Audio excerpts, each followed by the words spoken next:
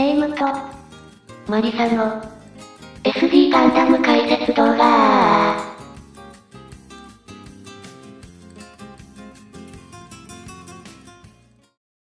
皆さんどうも、レイムです。皆さんどうも、マリサだぜ。今回も初期の BB 戦士シリーズを紹介しようと思います。前回はいよいよ登場した武者ガンダムまでを紹介したんだけど、今回まずは、BB 戦士第18弾として発売されることになったのは、機動戦士ゼータガンダムから登場のバウンドドッグとなっているな。あら、続けて武者シリーズ来ると思ったけど、まだシリーズ化されてなかったのね。おそらく最初からは BB 戦士でのシリーズ展開は考えられていなかったので、今回のようにリアル原作モチーフに戻ったと思われるな。なるほど、まあ確かにまだまだ未知数だよねということでこのバウンドドッグなんだけど、パーツの組み替えは必要だが、きちんと原作通りに、モビルアーマー形態へと可変可能となっているな。なるほど、やっぱバウンドドッグといえば、この独特なフォルムの可変形態よね。彩色に関しては自分で塗らないと微妙かもだが、初期シリーズとしてはきちんと三頭身で造形されて、プロポーションが完成されているな。確かにしっかりとした造形で、ボージングも映えそうね。あとバズーカにはスプリングがついていて、発射可能となっているな。あとおまけのようにちっちゃくて可愛い、可変型のバウンドドッグもついてくるな。やっぱりスプリング機能はついてるよね。っていうか、おまけのちっちゃいの可愛いね。あと今回のコミックワールドは、ジオングのスケ版で可変の続きを展開しているな。まさかのあの時の続きがあるとは。ということで次の第19弾となるのは、フルアーマーダブルゼータガンダム、と言ってもカラーリングを見てもらえばわかる通り、ほぼファッツとなっている。確かに見た目はほぼ同じだけど、この白いカラーリングだと完全にファッツだね。なので、ちゃんと本来のフルアーマーダブルゼータガンダムにするには、自分で着色が必須となっているな。とはいえ塗らなくても、ディテールは悪くないし、ファッツカラーのバージョンもかっこいいので、満足はできるキットだな。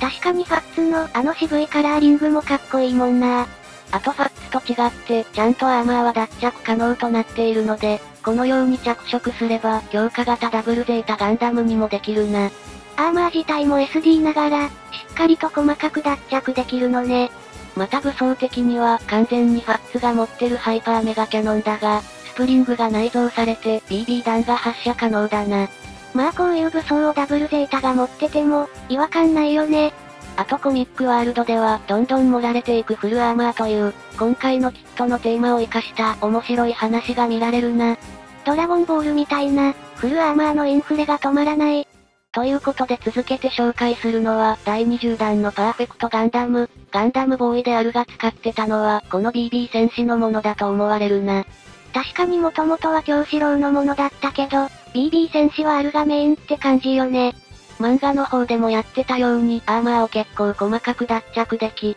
脱ぐことで初代のノーマルガンダムにできるコンパチ仕様だな。やっぱりフルアーマーダブルゼータ同様の仕様なのね。一つのキットで二つ楽しめるからお得ね。あと今回のスプリング機能は背中についてるキャノンで、そこからミサイルを発射することが可能だな。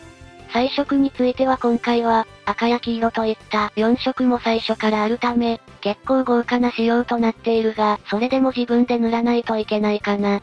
それでも最初から4色あるのは豪華ね。さすがパーフェクトガンダム。コミックワールドではやはり因縁の対決とばかりに、パーフェクトジオングと対峙してるところが見られるな。やっぱりパーフェクトつながりね。ということで次の第21弾は、ここから新規のガンダムセンチネルから、ゼータプラスが登場だな。おお、今じゃ結構貴重なガンダムセンチネルも、BB 戦士で出てたのね。元の機体が青と灰色の渋い見た目の機体なためか、今回は2色しかないが、ディティールもいいので、結構彩色しなくても違和感がないキットだな。もともと渋い配色なのは、プラモのキットとしてはありがたいだろうね。あとやはりパーツを組み替えることで、ウェーブライダーへと変形可能となっており、さらにパーツ交換によって地上用の A1 や、機体にハイメガキャノンをつけた A2 タイプなどにもできるので、3つ買えばゼータプラス部隊を作れるな。細かい違いながらも、しっかり再現できるのは、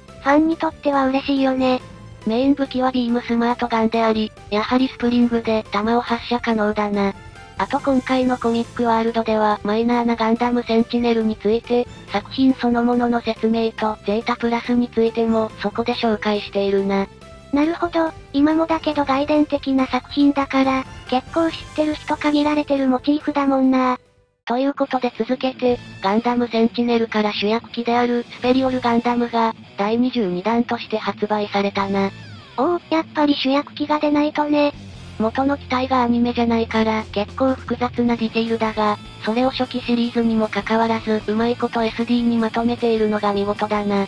確かに独特なフォルムやデザインしてるから、よくうまいこと SD に落とし込めたねあとやはりパーツ組み替えによって、ブースターユニット型や、最強形態の XS ガンダムなどにも換装できるようになっているな。スペリオルガンダムは形態が色々多いから、SD で3タイプにできるのは嬉しいね。メイン武装のビームスマートガンにスプリングが内蔵され、やはり BB 弾を発射可能となっているな。もうすっかりスプリング機能もお馴染みになったね。今回のおまけのコミックワールドでは、ロケットブースターで地上から宇宙へと、単独大気圏突破というかっこいいところが見れるが、ラストは切り離ししすぎてジオングのように頭だけ飛んでくるという、コミックワールドらしいギャグ展開を繰り広げていたな。